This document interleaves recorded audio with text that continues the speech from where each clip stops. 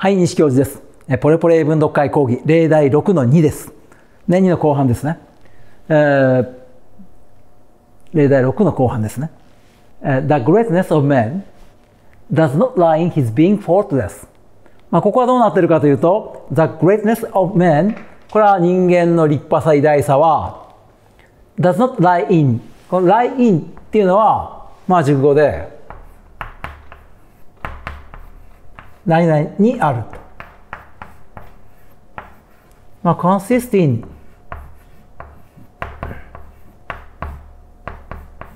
なんかも同じように使います。で、his being faultless これは何なのかというと、この being こいつは動名詞です。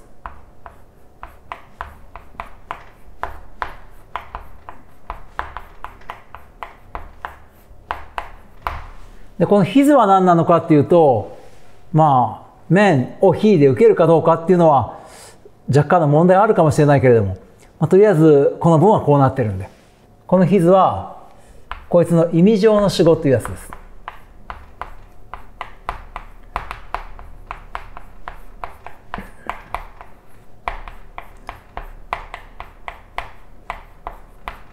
文の主語と動名詞の主語が違う場合とか特に書く必要がある場合は所有格もしくは目的格で書きます。これは所有格使ってますね。で、faultless これは間違いがないことですね。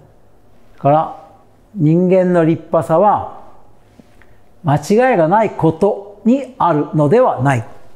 こういう話です。このレスっていうのは何々が、ああ、レスですね。間違えました。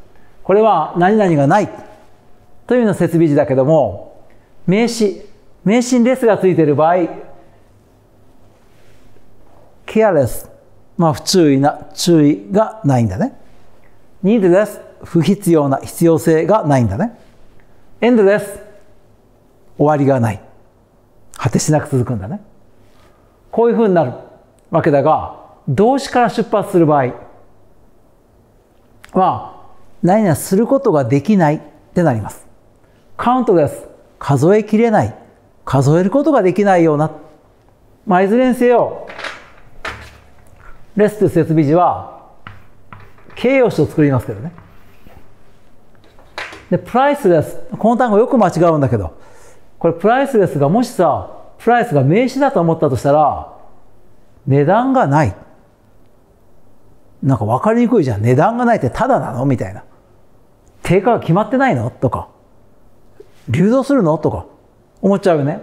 で、これ動詞。プライスで値段をつける。で、ですだから、ことができない。つまり数えることができない、数えきれない。値段をつけることができない。つまり、値段をつけられないほど素晴らしい。お金には換算できないほど素晴らしい。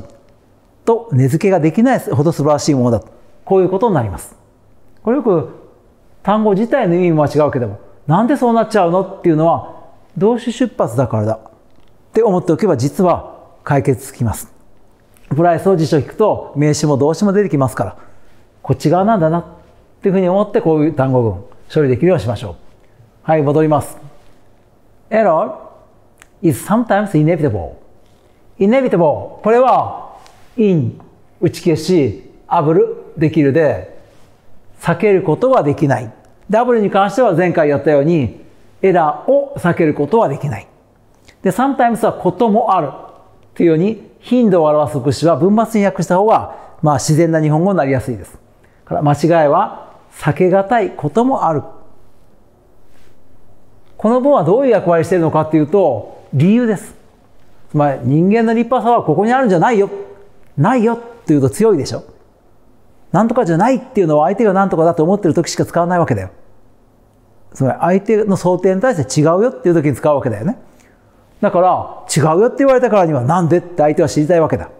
だからここで理由。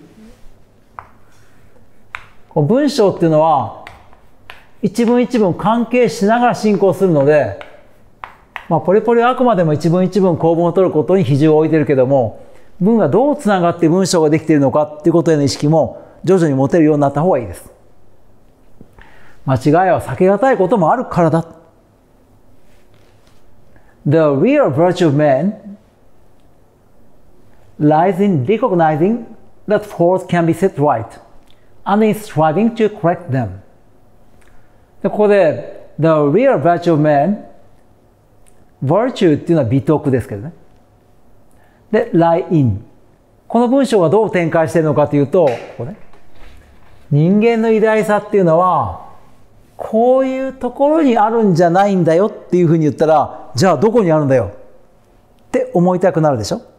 そういうのは、not but どうでしょう棒線じゃなくて波線。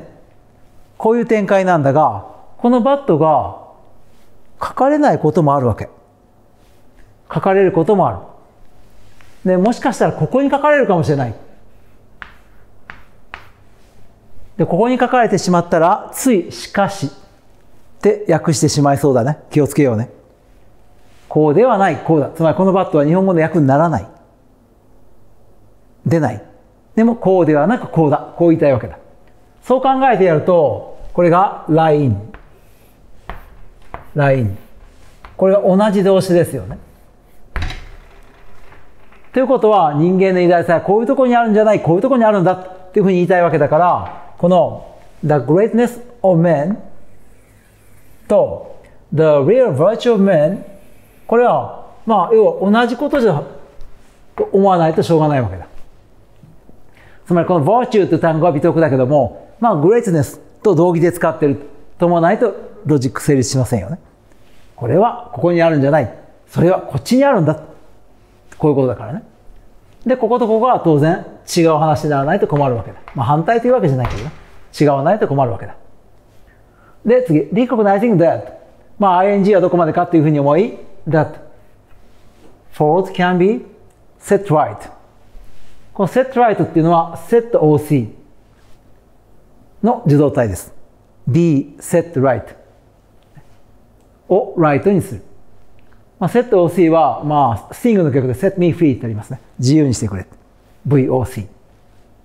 こう形容詞を取ったりします。で、間違いは修正可能なのだと認識する。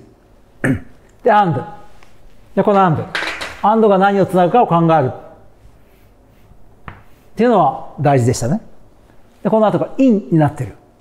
じゃあ in になってるってことはどうなってんだろうっていうふうに思うと、この lie in。こことここ。この in はなくてもいいんだけどね、実は。